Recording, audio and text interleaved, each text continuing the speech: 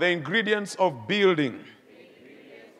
Today you don't have a very loud voice. Please shout louder. The ingredients of building. That's the sermon series we've been looking at. Last Sunday I was not here, Pastor Mary was here, and I can tell she blessed your socks off, isn't it? And it was good to have your mother here. You'd really missed her, isn't it? Amazing. So, we've looked at unity of heart, which is the first ingredient. There must be unity.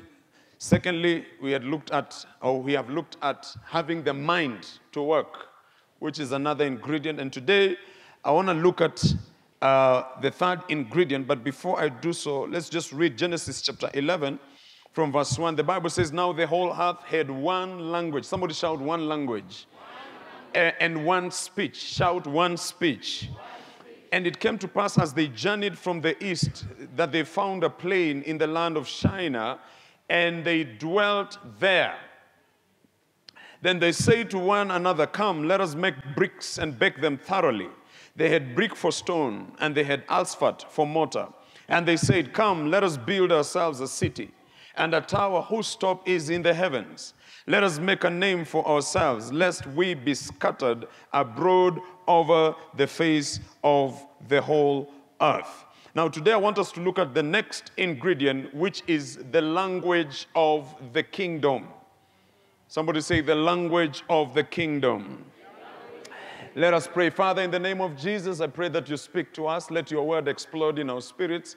I pray that may you shift us to the next level. Let us understand deeply what the ingredients of building, you know, building your house, building your kingdom, establish your, establishing your kingdom here on earth is all about. We give you praise and glory in Jesus' name we pray. Amen. Shout aloud, Amen. Now, today there are over 7,000 living languages in the world, according to the study studyanylanguage.com. Asia is considered to be having over 2,200 languages. Africa, where we belong, is over 2,000 languages.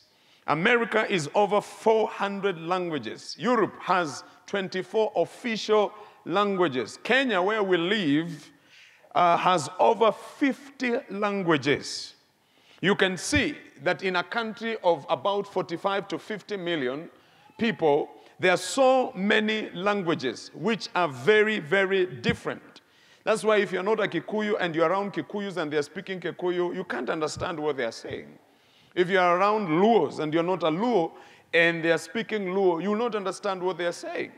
If you're around Merus and they are speaking Kimeru, you will think they are fighting. but they're actually communicating with one another, isn't it? Huh? one time I was around Kambas and they were talking, and I was trying to imagine how their tongue was. Because as they were talking, I thought their tongue is very slimy. Ah, la, la, la, la, la, la. It's just like, just flowing. I mean, when you're around different tribes, you know, as much as they're Kenyans like you, it's, it's very difficult to really understand what they're talking about if you don't belong to that tribe. In fact, sometimes, you know, the only way you can be able to, like, lock people out of a conversation is by speaking in your mother tongue, especially if you know that they don't belong to your tribe. Have you ever been in a place where people are just speaking their mother tongue? It's like you are not even there. You're even trying to lift your hand to tell them, hey, guys, I'm here. But they don't care. They go deep and they are laughing. They're giving each other high ten. You know, some of them are laughing until they are rolling on the floor. And you're just looking at them. It's like they have cut you from that conversation. And they don't want to be, you to be part of that conversation. I went to another country one time. For the first time, the country begins with an S. And I was so amazed how those guys were so absorbed in their native language that I could preach. And after I preached, we are seated around the table having dinner with the pastors, the host pastors, some leaders, and, and, and some invited pastors from other churches. And they just almost immediately switch in their native language. And I'm there as a guest speaker. And I'm just looking at them as they are talking, and they're not even getting the message. The way I'm looking at them, you know, there's a way you look at somebody, even without talking. You know, you're just saying, hey, you guys, what are you doing? I'm here. And they were laughing. And I'm just looking at them, they are laughing. Some of them are standing, giving each other high five across the table.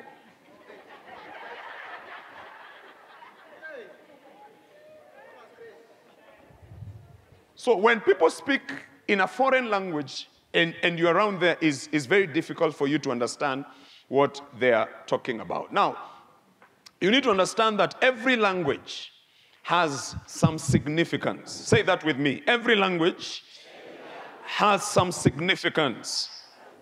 When you look at 1 Corinthians chapter 14, verse 7 to 11, the Bible says, even things without life, whether flute or harp, when they make a sound, unless they make a distinction in the sounds, how will it be known what is piped or played? For if the trumpet makes an uncertain sound, who will prepare for battle? So, likewise, you, unless you utter by the tongue words easy to understand, how will it be known what is spoken? For you will be speaking into the air. They are, it may be, so many kind of language, kinds of languages in the world, and none of them is without significance. Therefore, if I do not know the meaning of the language, I shall be a foreigner to him who speaks, and he who speaks will be a foreigner to me. That's why I told you every language has some significance. In those days, they used to use musical instruments to communicate. When a trumpet was blown, the way it was blown was to either gather people together or to declare war against the enemy. And so, if the language that is used around you is foreign to you, you'll be lost. You don't know the next course of action. You don't know how to respond. You don't know how to react because you don't know how to interpret or to under, uh, you're not able to understand the language that has been used. So every language has some significance. Every language conveys a message and it can be a coded message. If you don't understand the language, you will not know how to react. Let's just practice. Can you just tell the neighbor who is seated next to you that you really, really love them with the love of Christ in your native language?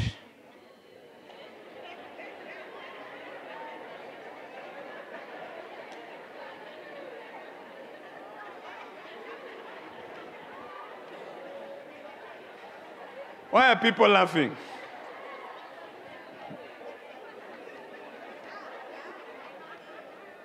Did you understand what they said? So if your neighbor actually abused you, you don't know. You are assuming your neighbor said what I have already said in a known language, isn't it? That's why I'm saying every language has some significance. Every language communicates something. So if you don't understand the language, no matter what he said, you will not understand. And so you will not be able to actually react to what you hear because you don't understand what that language conveys to you. Now, every language forms a bond within a group of people. That's why when you go to, to a place and you're looking kind of lost, you know, and for example, you are from Nyanza, and then you hear some people speak in Dholuo, all of a sudden you start feeling at home. True or not true? Or if you go to a place, it's a new place, it's a new neighborhood, or it's a, um, it's, it's, a new, uh, it's a new uh, office that you have joined, you know, and everybody looks like they're committed to what they're doing. They're busy walking around, and, and you're just there feeling like a very small, tiny guy in this big, huge company. And then all of a sudden, somebody switches in a language that you understand. All of a sudden, you start relaxing. You start saying in your heart, at least my brother is here. At least my sister is here. At least my relatives are in this place. So a language forms a bond within a group of people. A language connects individuals because they're able to understand each other easily. When you go to a foreign land, you know, sometimes when we travel, you know, uh, to America, we go to different places. Sometimes we go to purely white areas, or areas that are full of white people. Let me use that. And of course, when you get there, you, you just have to switch. You have to switch and you start speaking English. You speak in the language that they, um, they understand. And so you struggle with the English. And sometimes you speak English and they say, Pardon? What did you say? Pardon? What did you say? And sometimes it can be very frustrating. I remember one time I went somewhere and I was speaking, and, and the pastor kept on saying, What? While I'm preaching.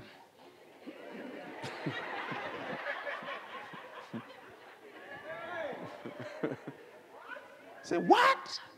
When I mentioned some words, he kept on saying, What? For example, one time I was, I was, I was, preaching for the book, from the book of uh, Samuel.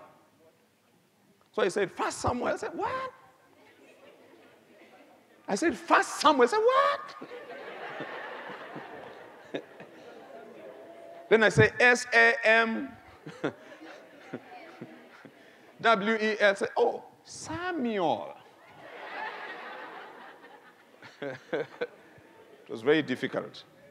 So you have to adapt so that as you're talking, they understand what you're talking about. You understand what I'm saying? So every language has some significance. Languages make people understand each other easily. One time we, we, went, we went to UK for an exchange program in 1993, and we were around white people for three, three for almost three, actually, it was three weeks around ra- ra- white people, three weeks. You know, you know, I was around white people so much that when I came back,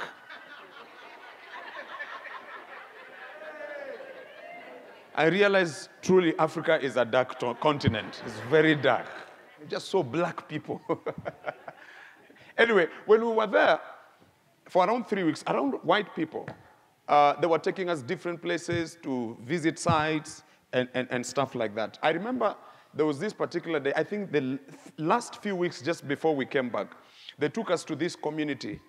Uh, the community had invited us because they were told that these are guys from Kenyans, from Kenya, and so this community invited us for, for lunch. And so we went to this community for lunch. There was a lot of food. Let me tell you, these countries in the West, they have a lot of food. Food is from one end to another. You have to be careful.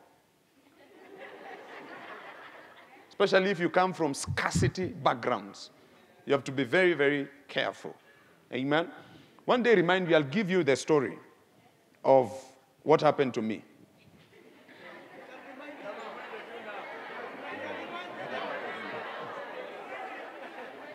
You love hearing my stories. I realize I embarrass myself a lot before these people. You guys don't, you don't fear the anointing. anyway, I was from this rural area. I've gone to this country. And for me, I grew up knowing you only have one meal. Yeah, it's ugali and sukuma wiki. And if God has blessed you, there is meat. And sometimes the meat, you look for it. It's not easy to find it isn't it? I think you understand what I'm saying. Yeah. And sometimes when you eat and you don't feel like you are, you are, you are satisfied, if you go to the kitchen, they tell you, brother, yeah, that's all we had. Yeah. Look for anything else to drink, but there's nothing here for you. You understand? Then I'm going to this country, and this country, they have what we call a five course meal, and I'm hungry. And they bring the appetizer soup and some scones. And their scones are very nice. I mean, I cleared almost all the scones and the soup. What do you mean? I'm hungry. Cleared everything. They were bringing, I clear, bring, I clear. I think the person who was bringing was surprised. What's wrong with this person? Then, when I was full, they brought the food.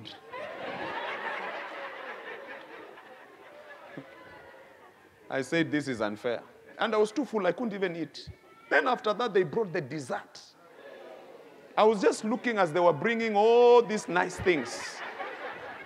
Then, after that, they brought tea.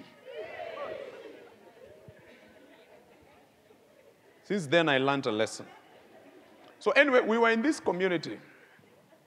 And in this, some of you are laughing at me, but you are just like me.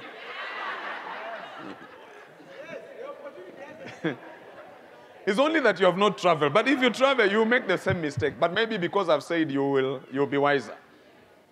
So we're in this community. I'm used to seeing just white people 100% of the time.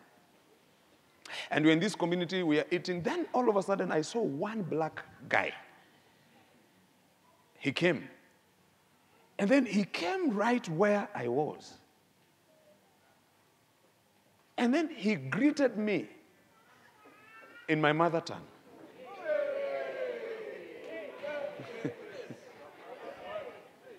At first, I thought, Am I dreaming? Then he greeted me again in my mother tongue. Then he told me, Do you know I'm your cousin? In my mother tongue. I said, It cannot be. Cousin from where? He said, I am your cousin. Then I said, How do you know that you're my cousin? He said, When I heard there is a, a community that is coming here in this community of ours and is from Kenya, I started inquiring, Who are they? And I saw your name on the list. And I know you. You are my cousin. And he's speaking in vernacular. Me, I was just nodding. I said, mm. Of course, we settled down and we started talking. But let me tell you, the moment he told me how related we were, and by the way, for real, we, were, we, we are related. His father and my mother are siblings. Meeting in a foreign land. All of a sudden, we forgot about white people. And just and started talking Swahili, whatever. He was asking me so many things about home and stuff. He told me how he went there to study and, and, and whatever. In fact, recently he was in my house. He has just relocated back to Kenya. He was in my house. And he was telling me, Do you remember that experience? In a foreign land. Can you imagine in a foreign land, somebody comes and speaks to you in vernacular? You might say, The devil is a liar. I don't know you. but all of a sudden, there was a bond because he was speaking in a language that I could understand. So tell your neighbor one more time neighbor, every language has some significance. So every language has some significance. It identifies a group of, of, a group of people and intricately connects them with one another. Now, before all these languages came, in Genesis chapter 11, we see that everybody spoke one language. So you can tell how connected they were. You can tell how, you know, united they were. They were speaking only one language. So everybody understood each other. Can you imagine if Kenya, we only spoke one language? It would be a very united country. A very united country because we'll understand each other, isn't it? So they spoke only one language. And as they spoke this one language, you can see that it was easy to rally the entire group, you know, towards one goal. It was very easy for them to talk about building. It was very easy for them to conceive their idea of building a city or building a tower because they were speaking one language. The ingredient of building requires that we speak one language. You are very quiet.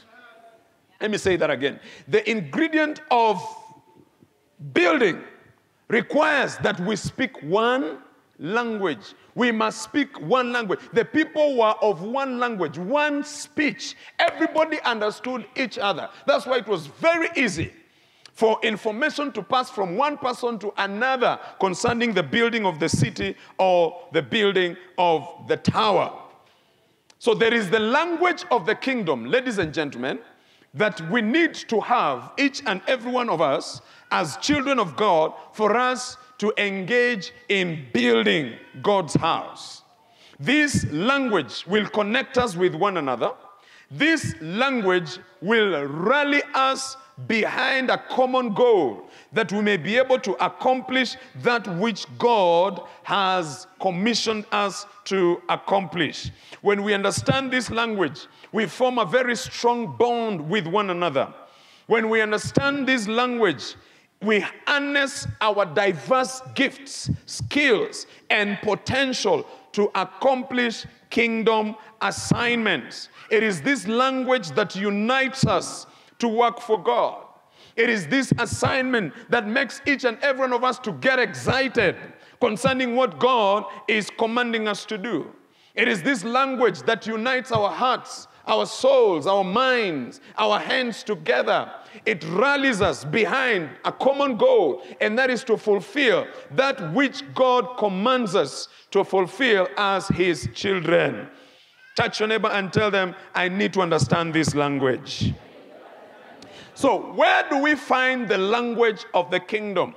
We find the language of the kingdom in 1 Corinthians chapter 14 and verse 6. 1 Corinthians chapter 14 and verse 6. Put it on the screen, we read together. The Bible says, But now, brethren, if I come to you speaking with tongues, what shall I profit you unless I speak to you either by revelation, by knowledge, by prophesying, or by teaching? Paul says, If I speak in tongues, you will not understand me. You will not understand what I'm saying. But if I speak to you by revelation, give me the scripture back. If I speak to you by revelation, or I speak to you by knowledge, or I speak to you by prophesying, or I speak to you by or through teaching, you will be able to understand. So the language of the kingdom is locked up in First Corinthians chapter 14 and verse 6. And we are going to break down this scripture so that you understand the language of the kingdom. So, ladies and gentlemen, the language of the kingdom, number one, is the language of revelation. The language of the kingdom, which we need to speak as children of God that we may rally behind the vision to build God's house is the language of revelation. Somebody shout the language of revelation. Shout it louder the language of revelation. You see, truth is available, but not accessible to everybody. A lot of people live in ignorance, not because of the absence of truth, but failure to access the truth that is already available to them. They haven't accessed the, they haven't accessed the truth that God has put in His Word, you know, that is meant to catapult their lives to the next level. That is meant to open up their eyes to see the things that God will like them to see so that they may react accordingly. The truth is out there, the truth is in God's Word. But you need revelation for you to access the truth. The truth must be revealed to you. The truth must be exposed to you. The truth has to come to the level of your understanding, but it will never happen until you have a revelation about the truth.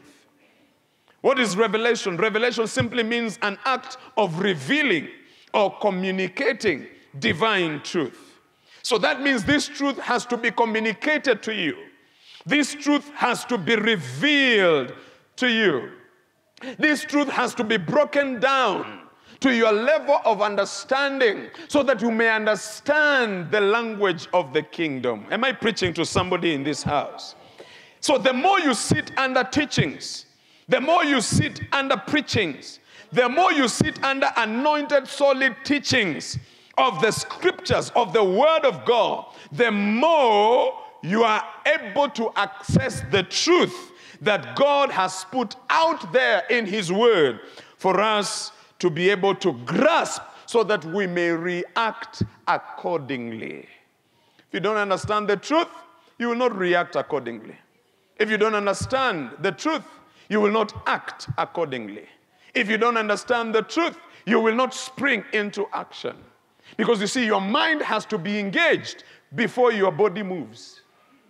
Oh. Can I say that again? Your mind has to be engaged before your, your body moves. Do you understand what I'm saying? That's why you see, God gave you the mind. And that's why you realize that when you are not really convinced about something, you cannot move. Let me give you a very simple example. There's a time I broke my leg. Uh, my children took me, my children prevailed on me, Asaph and Ashley. They prevailed on me to go to Panari for ice skating. I told them, I'm too old for these things. He said, No, no, no, no, you're not old. It's in your mind, Dad. It's in your mind. It's in your mind. So I said, Okay, let's go. So we went. I tried to convince Pastor Mary to join us. She refused. She said, Me, I'll just watch you guys. So I wore the boots. We entered the place. The guy trained me a little bit. Then he said, I think you can do it. I said, Yes, I think I can do it. But I was so surprised that my children were so good in it. Asaph and Ash, they were so good in it. I just could see them. They were just moving, they were gliding. I said, hmm, I can also do it. I am their father. They cannot embarrass me like this before people. So I started gliding. Gliding, gliding. I go to a place. I forgot how to brake. Before I knew it, I was on the floor. Boom. I tried to wake up. I was wondering what's going on. I tried to wake up. I tried to stand on my feet. One leg was very weak. So I called for help. So the instructor there came. He told me, Ah, we see these things every day. People fall down. We take them to our office, we spray the leg, then they come back the following morning. So he told me, You know, tomorrow morning you'll be here. I said, Me.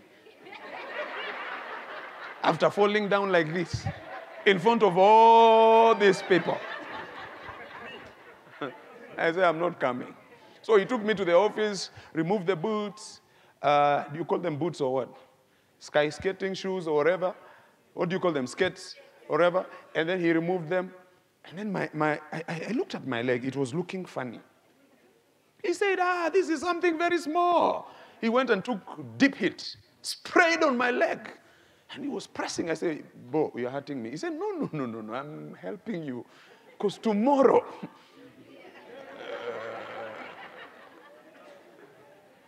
So I couldn't go back. Stayed there waiting for, I waited for my kids. When they were done, we went home. That night, I couldn't sleep. My, my, my, my, my leg was just throbbing like this the whole night. Couldn't sleep. Anyway, cut the long story short, the following day, I had to go to the hospital. So I went to one hospital. He looked at me and said, No, no, no, no, I cannot handle your case. I said, Hey, is this is this this serious? He said, Yeah, yeah, yeah. Come and see. I had taken some x-rays. He came and said, You see? Then he asked me, before, before I tell you what I'm seeing here, when they were taking the x-ray, did your leg move? I said, No, it did not move. I was told to stay still, so I just stood still. He said, Okay, when I look at here,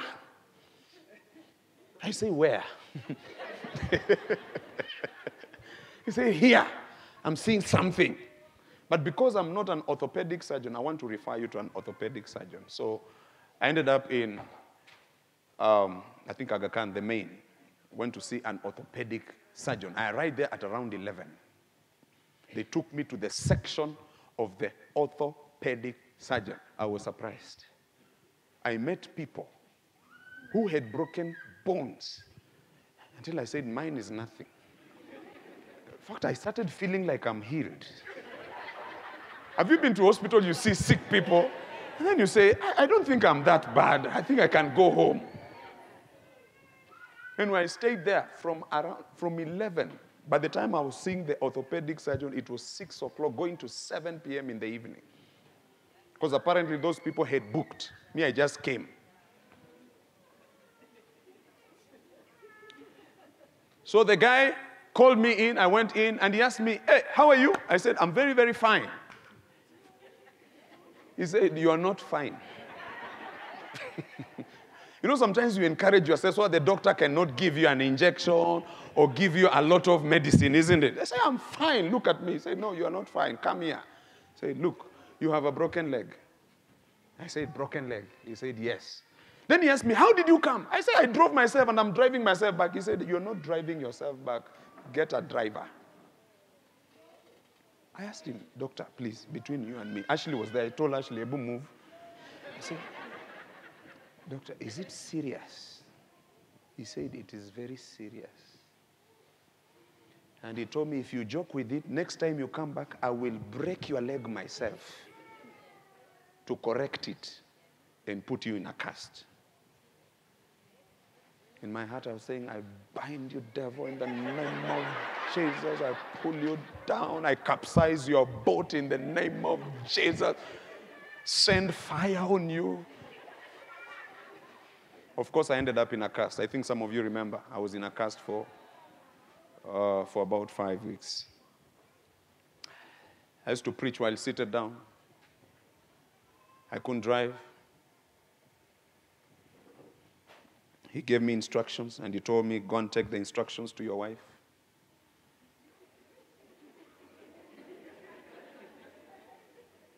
He even told me, I wish she was here.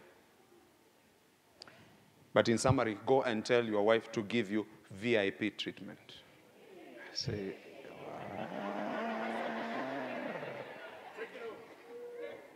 So you should not do anything. You should not walk. She should drive you anywhere she, you want to go. She should take care of you. Make sure you don't move at all. Don't move the leg at all. She should take care of you. Wow. Anyway, after the five weeks, because I was in the cast for five weeks, I went back. Then he looked at me and said, Ah, I've got good news for you. I said, What are the news? He said, I think you're okay. I said, You think? He said, Yeah, I think you're okay. So I was seated on a bed. Then he told me, Okay, can you come down? So I came down. I was still in the cast. He said, Can you remove it? So I removed it. He said, Now walk.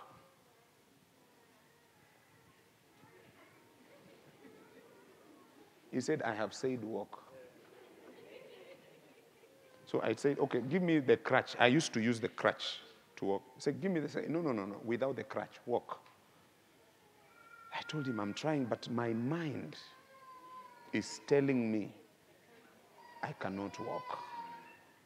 Then he told me, okay, go back. Go back to the bed. So I pushed myself to the bed. Do you know what he did? He came to the bed, grabbed me,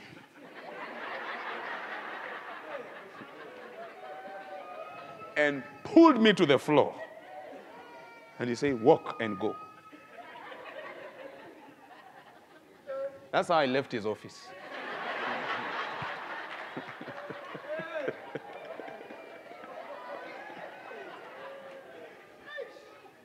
you see, my leg had healed, but my mind was telling me, you still have a problem in your leg and you cannot walk.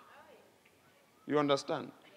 And for several weeks, I used to walk, but still look at the leg and wonder, is it really healed? Because the mind was still trying to adjust to the fact that the leg was now healed. What am I trying to show you? Your mind is very powerful.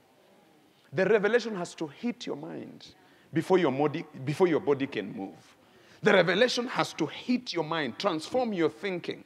Be transformed by the renewing of your mind before your body can spring into action. Tell your neighbor, that's why you need revelation. oh, they didn't hear you. Shout it in their faces. Tell them, that's why you need revelation. So we access the truth through revelation. It is what it is what that is revealed to you that causes you to spring into action. No matter how big, how huge, how impossible that task is, it has to be revealed to you. Now, what has God revealed to us? Because we are talking about the language of the kingdom as an ingredient of building. What has God revealed to us? The first thing that God has revealed to us, which is the thing that I will deal with before we finish, is the importance of building Him a house. Tell your neighbor, get it in your head. God wants you to understand the importance of building Him a house, building Him a place of worship. He wants us to know. He wants us to get this truth. He wants us to get this revelation because it is very, very important to Him. When I started this church some 11 or so years ago, immediately I started having a vision and a burden to settle this church. The church was very small, and we started walking around looking for land. I gathered a few guys, and we're just walking around trying to look for land so we can be able to gather the church. From the very beginning of, of, of the church, we couldn't find anything, but we kept on looking, we kept on looking, we kept on looking. And then the desire became very strong when I did a series on establishment. I don't know if you remember that series. I did a sermon series on establishment, and the desire to see the church established became even stronger. Because I talked about establishment, I talked about land. That is the time when we started now being very, very intentional about, you know, having our own land as a church. The desire was growing. And then the revelation became practical when I met Bishop Dag Heward-Mills. I remember, you know, I stumbled on his materials and I was reading his materials and I was very captivated. And then, of course, one time I was having a conversation with Pastor Jimmy, and then he mentioned that he has gone to Ghana once. And if I don't mind, I, we can go. So we planned and we went. So I went and I was blown away by what I saw the churches he has built, what he has established in that country. Then I discovered it was not only in that country. He's, he has churches all over, you know, the world. He even has a church here in this city. I even went to see the church and I realized they have bought property. I said, How? A foreigner has a church here, bought property, established the church. They have built a cathedral in Mombasa. And I said, This man has something that I'm looking for. This man knows what I don't know. Let me try and follow him and see what will happen. So I went again to Ghana. And this time I told my host, please take me around. I want to see these churches he has built. We didn't even finish the churches he has built in Ghana. The desire became even stronger. The revelation became even stronger. It's like God was revealing to me this revelation in a very deep way. Then I said, I want to meet him. So our meeting was arranged. And I met him. When I met him, I knew what I was going to say when I met him. I was going to tell him about what we are doing, how the church is growing. We are doing well. Our church is exploding in numbers.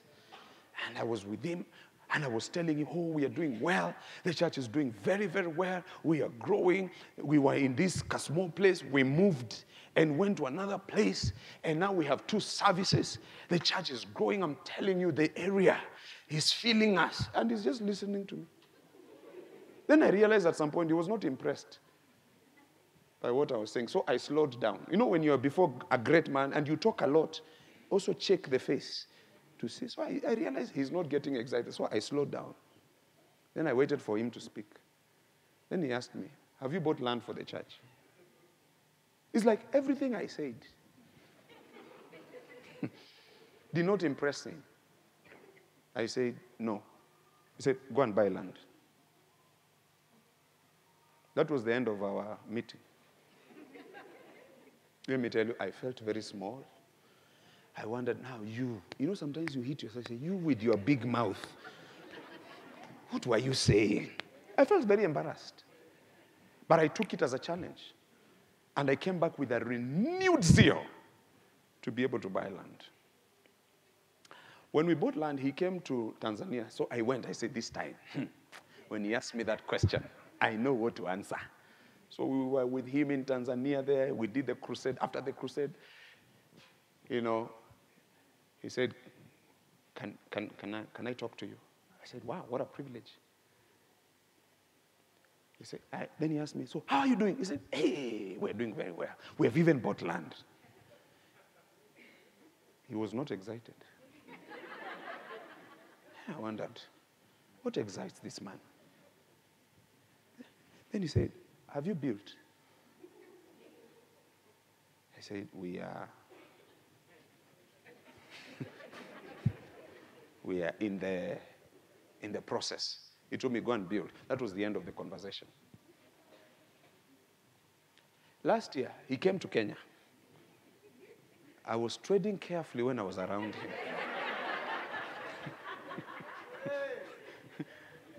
Yeah. I, you know, once beaten. So this time I was not talking a lot. It was very quiet. We took him from the airport. We went. We took him to one of the hotels. He refreshed. And after that, you know, before he went to the car, I went to greet him, and we were talking there. You know, he was asking me how's Kenya. I told him how Kenya was, how things are moving. He told me you must be happy with the new president. I said yes. Yeah, we are hoping things will change. You know, I was liking the conversation because I didn't want the conversation to go the other direction. Then before you go to the car, you say, by the way, I am coming to see your building.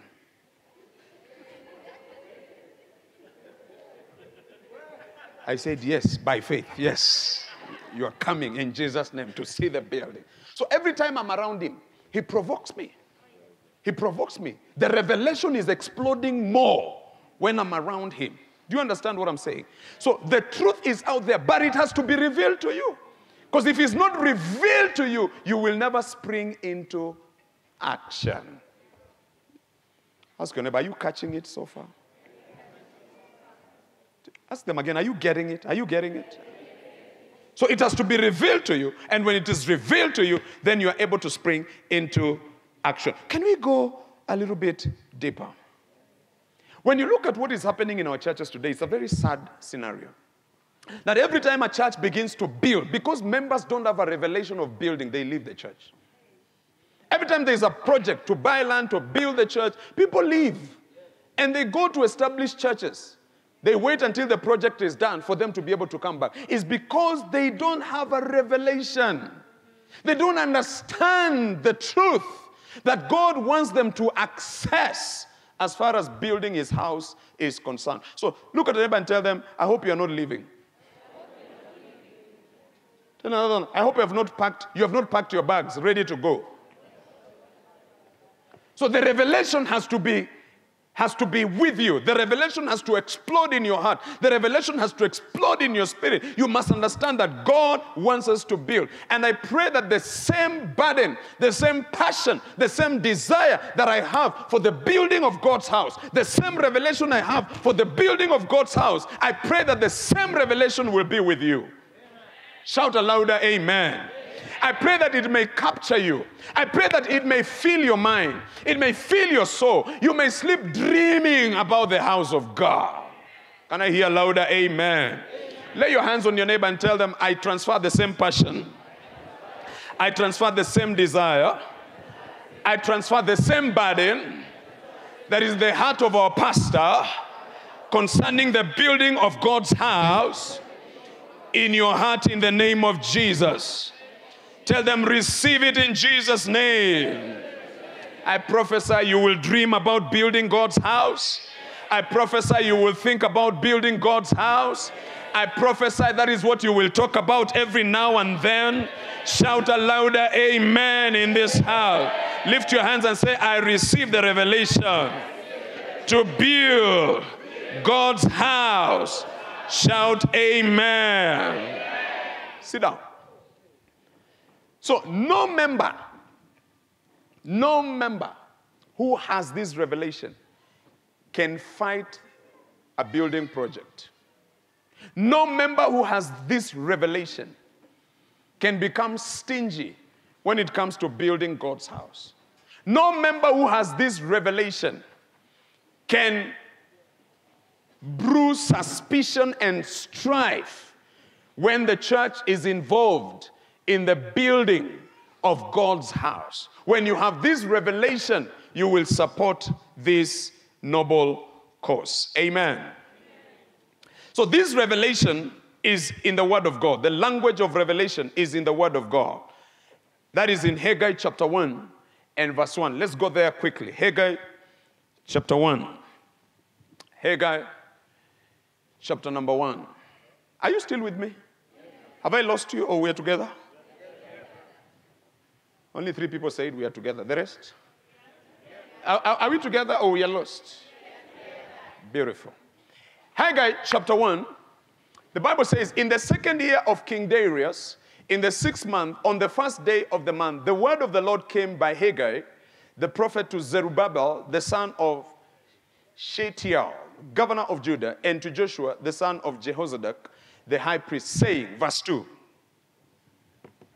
Thus speaks the Lord of hosts, saying, This people says, The time has not come. That means they didn't have a revelation concerning the building of God's house. They say, This time, the time rather, has not come, the time that the Lord's house should be built. Then, verse 3 Then the word of the Lord came by Haggai the prophet, saying, The revelation came through the prophet, saying, Is it time for you yourselves to dwell in your paneled houses and this temple to lie in ruins? Now, therefore, thus says the Lord of hosts, consider your ways. Verse 6 You have sown so much and bring in little. You eat, but do not have enough. You drink, but you're not filled with drink. You clothe yourselves, but no one is warm. And he who earns wages, earns wages to put into, into a bag with holes. Verse 7 Thus says the Lord of hosts, consider your ways. Go up. That is the remedy. Go up. Where? To the mountains and bring wood and build the temple that I may take pleasure in it and be glorified, says the Lord. The people were struggling, the people were poor. But they didn't know the cause of their poverty. And the prophet brings revelation. Hmm. A prophet speaks to them the truth and he tells them the reason why we are, you are struggling, the reason why you are poor, the reason why you are not doing well in life is because you have neglected the house of God. Tell your neighbor, what a revelation. Tell the them one more time, what a revelation. Not everything will be solved by prayer and fasting. Not everything will be solved by prayer and fasting. Some things are solved simply because you bought cement for the house of God. Mm. Thank you for those who are clapping. I should call you in one corner and preach to you because you're understanding what I'm saying. Are you understanding what I'm talking about? Some of the problems in your life will be solved when you build the house of God. Look, as we are building God's house, I want you to know is an opportunity for some of the issues in your life to be resolved. Tell your neighbor, it's a revelation. You didn't understand that. Tell them, it's a revelation. This is the language of the kingdom. It's a revelation. Some of you, by building God's house, you'll drive a car. By building God's house, you build your own house. By building God's house, you will get married. By building God's house, you will get children. Can I get a better amen in this house? It's a revelation. It has to be revealed to you. Because if it's not revealed to you, you will say, ah, it's a waste of money. I'd rather take my money to Red Cross. I'd rather take my money to a children's home somewhere and help the kids who don't have food. It's because you don't understand the revelation behind building God's house. It has to Shift your mind, shift your thinking so that you understand that this is an opportunity for God to take my life to the next level. They struggled, they worked so hard, they could drink, but they were not uh, fulfilled. They could eat, but they were not satisfied. They could clothe themselves, but they were still feeling cold simply because they had neglected the house of God. Ladies and gentlemen, us being in this tent, if we decide we're going to be in this tent forever, there is a certain level of prosperity we will never see in our lives. Maybe some of us we will never even build a house. Because building is not easy. You need the help of God to build. Tell your neighbor, you need God. You know, there are people who say, Oh, you don't need God to prosper. You don't need God to do this. Oh, you don't need. I even had another foolish preacher saying that you don't need God to prosper. You are foolish if you're listening to me. You are a fool. I need to educate you. It is He who gives us power. And he's mentioning, oh, Bill Gates does not worship God and is rich. Oh, Sijui who does not worship God and is rich. God can tell Bill Gates today, you fool, I require your soul. It's done. Or God can say, from today, become poor. He will be poor today. Look at the way you're looking at me. It's like, huh? Really? Tell your neighbor, it's a revelation. It's a revelation. One day there was a king who was boasting how he has become a king and he's boasting. He's walking around looking at his kingdom and he says, Look at me. Then God says, eh. Okay, today, from now, start walking like an animal. May your skin be filled with fur. May your brain be reduced to that of an animal. May you not be able to communicate the way human beings communicate. And the guy became an animal and he had to leave the palace to go to the wild. Don't joke with God. Don't just say, I will do without God. I've seen people who have done without God. It is God who has extended his mercies in their lives. Because without him, you are nothing.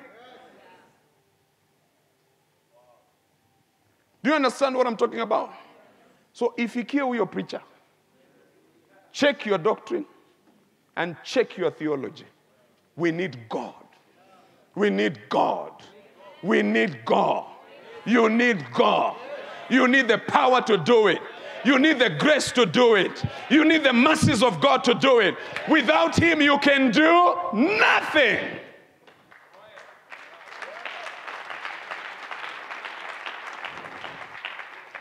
That's why He says, Look, you want me to prosper you? Build my house. Be involved in building my house. And when you build my house, I'll be able to prosper you. Tell your neighbor, get ready for prosperity. Tell another one, get ready for increase. As we build, may God lift us up. As we build, may God prosper us. As we build, may God lift us.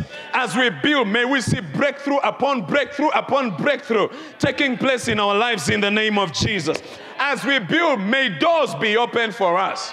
As we build, may elevation come our way. As we build, may increase and prosperity be our portion. Shout louder, Amen. Look at the neighbor and tell them, I must build God's house because it's a revelation to me. So, how did people respond? Which verse did we reach? Verse 8. Jump to verse 12 to 14. Verse 12. Alphas lived. Th- you.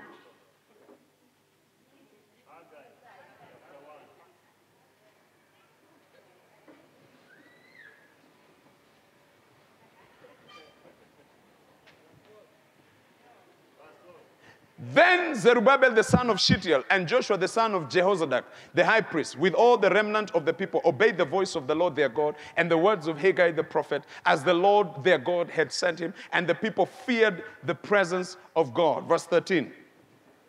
Then Haggai, the Lord's messenger, spoke the Lord's message to the people, saying, I am with you, says the Lord. Then verse 14. So the Lord stirred up the spirit of Zerubbabel, the son of Shealtiel, governor of Judah, and the spirit of Joshua, the son of Jehozadak, the high priest, and the spirit of all the remnant of the people. And they came.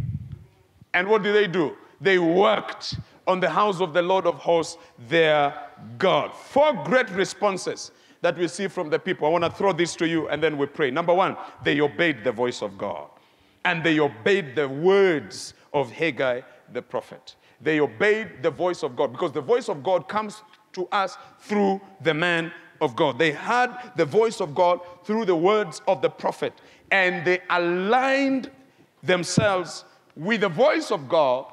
And when they aligned themselves with the voice of God, their response was appropriate. Secondly, they feared his presence. They were filled with reverence. They knew that God is speaking to us. And so they were filled with reverence and awe. Fear gripped these people. And this is the fear of God. And they say, hey, we must do this. We can't live in beautiful houses. And the house of God lays in or lies in ruin. They were consumed with the fear of God. Number three, They were stirred up. The spirit of Zerubbabel, the son of Shealtiel, the governor of Judah, was stirred up. The spirit of Joshua, the son of Jehozadak, the high priest, was stirred up. And the spirit of all the remnant of the people was also stirred up. Everybody received a stirring. I pray that everybody here, you receive a stirring to build the house of God. May your spirit be stirred up. May your heart be stirred up. May your mind be stirred up. And may your body as well be stirred up. Let me add, may your wallet be stirred up as well. Hallelujah. That we may be able to build the house of God. Because to stir simply means to arouse to activity. Hallelujah. To do what? To arouse to activity. Praise the Lord. Is the way you arouse a woman. Because it's not easy to arouse a woman, it's hard. The first thing in the mind of a man is sex. The last thing in the mind of a woman is sex. So you can see that the man is the far end, the woman is at the far end, and they have to meet in the middle. But because the woman is not moving, the man has to travel.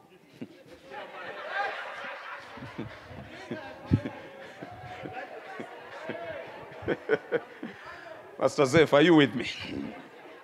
He has to travel. He has to become an explorer. Travel and go and reach where the woman is. And say, hey, baby, there's a journey I want us to take. And he begins to talk to her, begins to tell her things. That's why you see many women at the beginning of a relationship, they are always saying no. They always say, I don't see it working. Sioni. Haiwezi make. Sidhani. Hii haitawaka. Sitaki. Sikupendi hata. Sikufeel. And the man comes back. Say, let's just take one step. Nikununulie kofi. Sawa. Lakini ujue sikufeel.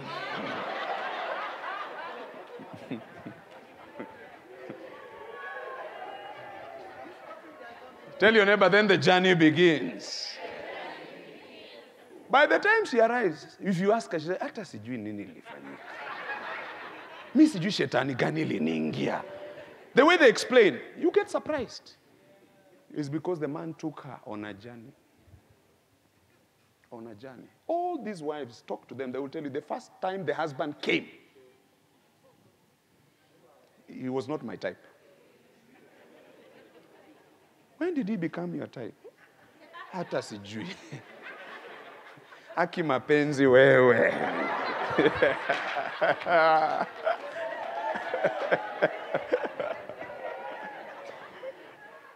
it took a journey. I see very spiritual people who don't relate to the stories I give about love. But it's fine. It took a. They had to be aroused. They had to be stirred up. You understand what I'm saying? So when the word of the Lord came, people's hearts were stirred up. Initially, they were not aroused. Initially, they were not excited about it. Initially, they said, Ah, we are in this content. We are okay. But when the word of God came, they were aroused. May you be aroused to build the house of God. May you be stirred up to build the house of God. Shout a louder amen. And the last thing, they worked on the house of God. Verse 14 says, They came and worked on the house of the Lord of hosts, their God. They worked on it, they built it, they worked on it. They decided we are going to build the way we have decided we are going to build the house of God. I wish I can get people who can agree with me that, Pastor, we are ready to work on the house of God we are going to build the house of God. The revelation is exploding in our hearts. We are beginning to see the truth that we must build God's house. They worked on it and worked on it and worked on it and worked on it until they were able to finish. Praise the Lord. I pray that you respond like these guys. We shall respond like this congregation. We shall build the house of God. If you believe it, shout amen. amen. Somebody give a hand or clap to Jesus. If you feel aroused, give him praise and a shout.